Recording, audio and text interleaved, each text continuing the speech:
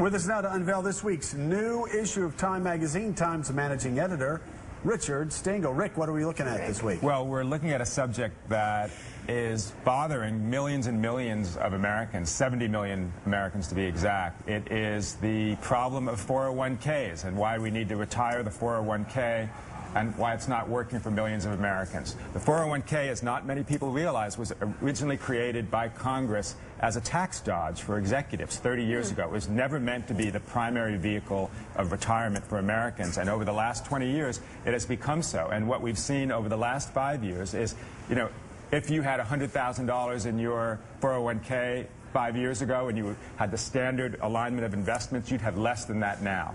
And what's been a disaster for people with the going into the Great Recession and now coming out of it is that the, the way the 401k works is that the closer you are to retirement, the less choice you have, and the more money you're likely to lose. So people who are retiring were going into their retirement with hardly anything in their 401k. So, and we hear time and time again uh, people having to work past retirement age, past 65, or some even working into their 70s because their life savings were blown over the past couple of years on 401k. Right, and in fact, there's a quirk in the 401k, which is the closer you are to retirement, the more likely you are to lose money if the stock market goes down because you're putting less money into it. So right. that, that's what happened to a lot of people. So we talked to dozens and dozens of people who, you know, who have retired but now have to work. And you know, the, originally the 401k was meant to be a supplement to the kind of retirement that you would have, pension plus Social Security.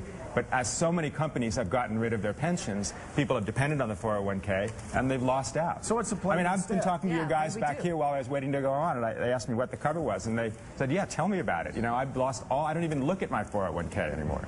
Yeah. So, so what, what, do you, what do we do instead? Well, what we, do, what we propose instead, and that story is by a young uh, business writer of ours named Steve Gandel, is, is a pen, insurance pension plan, where instead of paying that money into a 401k, 6% of your salary every week or month, mm -hmm. you pay it into an insurance plan that guarantees you a pension, basically, for the rest of your life at about a quarter of your salary. And that seems fair. I mean, the, the problem with the people who have lost all their money in their 401ks is 401k, isn't it supposed to be what you have when you retire? Why would you put money, 6% of your salary, into something that is a risk? Well, it's, it's a risk, and then it's also something where, where you deplete it. I mean, it's basically a bunch of cash that you have when you retire, and you're supposed to take out 4 or 5% a year. I mean, and depends on how you... That's the smart thing to do.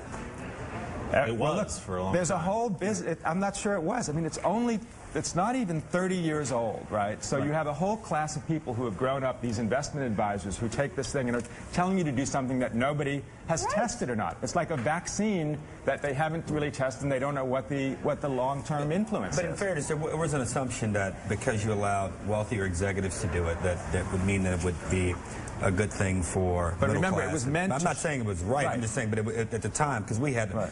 That plan in Congress, as Joe remembers, and it was, uh, it was widely encouraged that you take advantage of this, and we encouraged our right. constituents for that reason. It's but it was out. for executives who were trying to shield some of their income from regular tax in real time so that they could put it away where it wasn't going to be taxed. It was, you know, workers weren't even eligible for it when it first started 30 years ago. Let's